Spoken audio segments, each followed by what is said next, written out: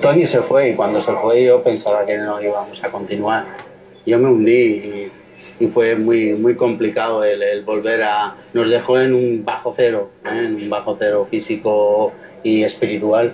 Pero bueno, eh, Tony tenía la capacidad de crear muchísimas ilusiones, muchísimos amigos de Tony pues, se acercaron a nosotros y gracias a toda esa gente que, que se ha ido acercando, pues hemos entre todos ir recomponiendo el puzzle. ¿Qué ha pasado en estos tres meses? Pues bueno, he conseguido un poco trabajar